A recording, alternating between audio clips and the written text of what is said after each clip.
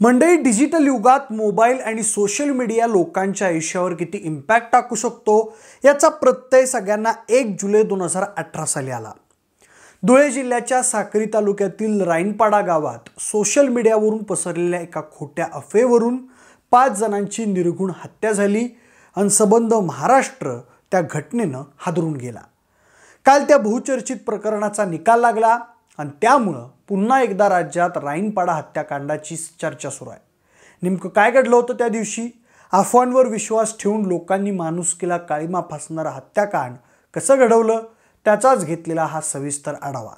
नमस्कार मंडळी मी प्रथमेश आणि तुम्ही पाहताय विशेष भारी सोलापूर जिल्ह्यातील मंगळवेढा तालुक्यात राहणारे दादाराव भोसले भारत भोसले श्रीमंत भोसले भारत माळवे आणि मानेवाडी इथं राहणारे अग्नू इंगोले हे पाच जण सोलापूर जिल्ह्यात दुष्काळ पडल्यानं आपल्या परिवारासह उदरनिर्वाहासाठी धुळे जिल्ह्यातील पिंपळनेर इथं गेले होते.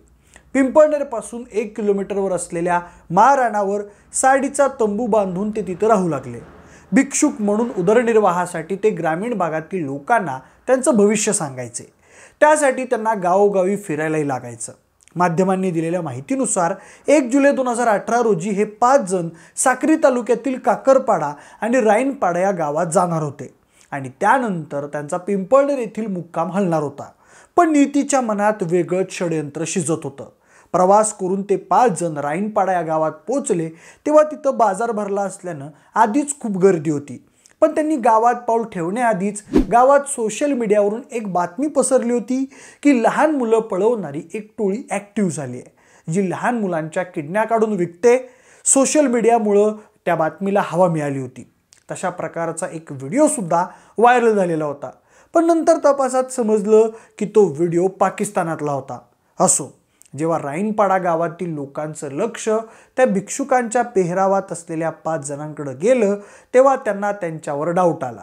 सुरुवातीला तर त्यांना वाटलं हीच ती पोरं पळवणारी टोळी.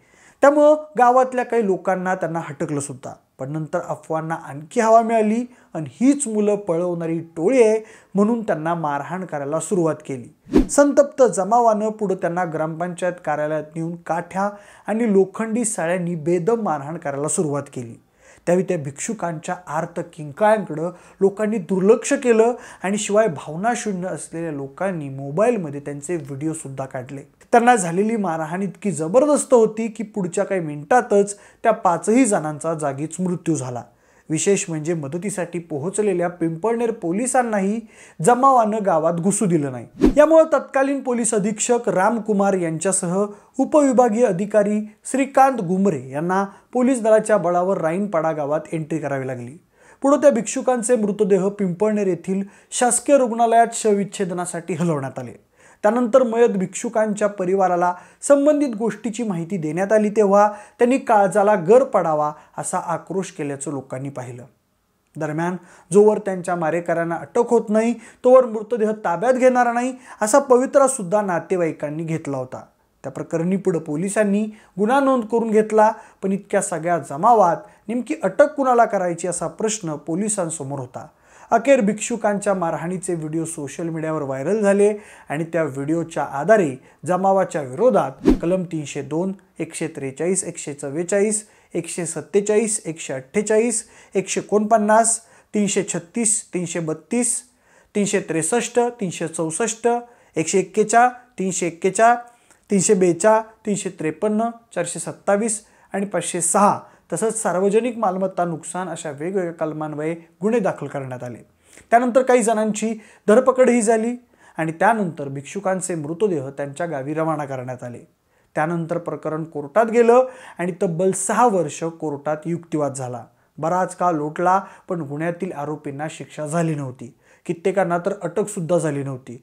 दरम्यान काल त्या प्रकरणी सुनावणी होऊन सात आरोपींना दोषी ठरवून शिक्षा ठोठावण्यात आल्याची बातमी आली आहे. त्या संपूर्ण घटनेचा तपास उपविभागीय पोलीस अधिकारी श्रीकांत घुमरे यांनी केला होता. पुढे न्यायालयात दोषारोपपत्र दाखल करण्यात आलं आणि त्या खटल्याचं कामकाज सत्र न्यायाधीश एफ एम ए ख्वाजा यांच्यासमोर चाललं. सरकारी पक्षाच्या वतीनं ॲडव्होकेट उज्ज्वल निकम यांनी पस्तीस साक्षीदार तपासले. त्यातील पाच साक्षीदार फितूर झाले होते तर काही साक्षीदारांनी आरोपींना ओळखलंच नव्हतं. त्यामुळं परिस्थितीजन्य पुरावे आणि अन्य आधारावर ॲडव्होकेट उज्ज्वल निकम यांनी प्रभावीपणे न्यायालयात पुरावे मांडले. राईनपाडा घटनेचा निकाल लागणार म्हणून न्यायालयात खूप गर्दी झाली होती तसंच आरोपीही हजर होते. मात्र जामिनावर असलेला काळू गावित हा न्यायालयात आलाच नव्हता. पुढं दुपारी सत्र न्यायालयात निकालपत्राचं वाचन करण्यात आलं. त्यात न्यायालयानं महारू पवार दशरथ पिंपळसे हिरालाल गवळी गुलाब पाडवी युवराज चौरे मोतीलाल साबळे तसेच अनुपस्थित असलेला काळू गावित यांना दोषी ठरवलं. सर्व सात आरोपींना खुनाच्या कलमान्वये जन्मठेपेची शिक्षा सुनावण्यात आली. तर उर्वरित कलमात एक वर्ष ते दहा वर्षापर्यंत शिक्षा सुनावण्यात आल्या. या सर्व शिक्षा आरोपींना एकाच वेळी भोगायच्या आहेत असंही सांगण्यात येत आहे. पण या संपूर्ण घटनेबद्दल कोर्टाने सोशल मीडिया संदर्भात जे निरीक्षण नोंदवलं ते जास्त इम्पॉर्टंट होतं. सरकारी वकील ॲडव्होकेट उज्ज्वल निकम यांनी ती माहिती माध्यमांना दिली. आहे उज्ज्वल निकम म्हणाले राईनपाडा हत्याकांड खटल्यातील सात आरोपींना जन्मठेपीची शिक्षा सुनावण्यात आली आहे. समाज माध्यमांमध्ये खोट्या बातम्या आल्यानं जनतेमध्ये गैरसमज निर्माण होऊन काय होऊ शकतं ही बाब राईनपाडा घटनेतून दिसून आली. त्या गैरसमजाच्या पर्यावसनातून पाच जणांना जीव गमावा लागला. खोटी बातमी दाखवली तर जनतेचं मत कलुषित होतं. त्यातून मंगळवेढा तालुक्यात राहणाऱ्या भिक्षुकांना जीव गमावा लागला. मोबाईलच्या माध्यमातून खोट्या अफवा पसरवल्या गेल्या. साक्री तालुक्यात मुळं पळवणारी टोळी आली असून मुलांच्या किडण्या विकण्याचा धंदा चालू असल्याचा गैरसमज पसरवला गेला. त्यामुळेच ग्रामपंचायतीच्या कार्यालयात या भिक्षुकांना बेदम मारहाण झाली. अशी घटना निंदनीय आहे असं निरीक्षण न्यायालयानं नोंदवत सात जणांना शिक्षा ठोठावली. दरम्यान त्या गुन्ह्यातील एका आरोपीनं पुढे आत्महत्या केली होती तर उर्वरित वीस आरोपींना निर्दोष मुक्त करण्यात आलं. मात्र निर्दोष मुक्त करत असताना न्यायालयानं अशा प्रकारे स्वतः बेकायदेशीर न्याय करण्याचा प्रयत्न कोणीही करू नये आणि कायदा हातात न घेण्याची सूचना देखील न्यायालयानं त्यावेळी केली.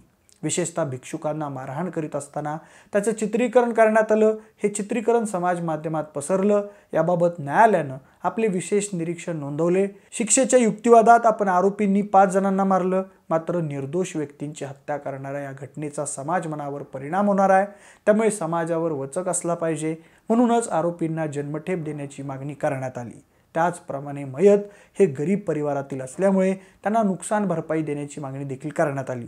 न्यायालयानं शिक्षा सुनावत असतानाच मयत भिक्षुकांच्या परिवाराला नुकसान भरपाई देण्याचे आदेश दिले आहेत. त्या खटल्याच्या कामात धुळ्याचे जिल्हा सरकारी वकील ॲडव्होकेट देवेंद्र सिंग तवर यांच्यासह ॲडव्होकेट गणेश पाटील तसेच तपास अधिकारी श्रीकांत घुमरे पोलीस अधिकारी श्रीकांत पाटील यांच्यासह अनेकांनी मदत केल्याची माहिती देखील ॲडव्होकेट उज्ज्वल निकम यांनी त्यावेळी दिली.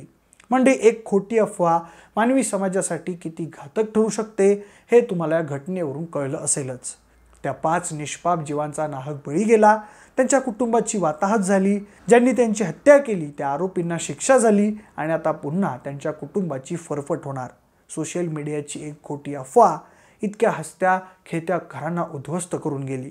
खरं तर सोशल मीडियावर फिरणाऱ्या गोष्टी किती खऱ्या किती खोट्या हे तपासूनच मग त्या फॉरवर्ड केल्या पाहिजेत इतका बेसिक नियम आहे. पण आजकाल लोकांची ती तार्किक शक्ती आणि सत्सद्वे बुद्धीच जणू मारून टाकण्याचं षडयंत्र सुरू आहे का? अशी शंका येते. या इंटरनेटमुळं दुनिया व्हर्च्युअली जितकी जवळ आली तितकीच ती फिजिकली दूर गेली आहे. लोकांचा संवाद संपलाय. शेकडो गोष्टी इंटरनेटवर फैलावल्या जाऊ लागल्या.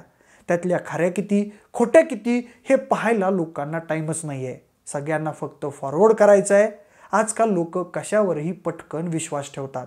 म्हणूनच तर अमुक तमुक मंदिरातला देव दूध पितो कुठं भूतं उतरवली जातात कुठला बाबा पाण्यावर तरंगतो तर कुठला गरम तयार बसतो अशा बातम्यांना व्हॉट्सअप युनिव्हर्सिटीवर ऊत येतो. आणि चक्क आपली लोक त्यावर विश्वाससुद्धा ठेवतात. काल परवाचंच उदाहरण घ्या. पूनम पांडेच्या मॅनेजरनं तिच्या मृत्यूची बातमी दिली आणि दुसऱ्या दिवशी पूनम पांडे सगळ्यांसमोर हजर. इंटरनेटवर जे दिसतं तसं असतंच असं नाही. असो कधी ना कधी हे बदलेलंच. लोकांना तंत्रज्ञानाचा वापर किती करायचा त्याचे फायदे तोटे काय हे कळेलच. पण सध्या इंटरनेटवरच्या कोणत्या गोष्टींवर किती विश्वास ठेवायचा काय फॉरवर्ड करायचं हे ज्याचं त्यानं ठरवलं पाहिजे. म्हणजे पुन्हा कधी खोट्या अफवेमुळं असा कोणाचा नाहक बळी जाणार नाही. बाकी संबंधित घटनेबद्दलच्या तुमच्या प्रतिक्रिया आम्हाला कमेंटमध्ये नक्की कळवा.